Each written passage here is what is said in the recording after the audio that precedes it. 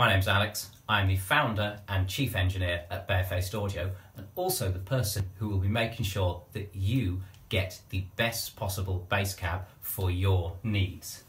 So I want to tell you why our business model not only makes the cabs more affordable than the conventional way of doing it, but why it's better. You will converse with me directly. There's one link.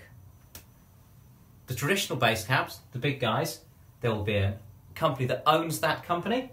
Then there will then be a management team, an engineering team, often outsourced to consultants, a marketing team, a sales team that goes to distributors, to retailers, to the shop assistant in the guitar shop, and finally to you.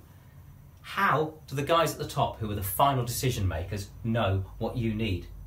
How is the communication going to work as well as it does with just one link when there are eight links in the chain?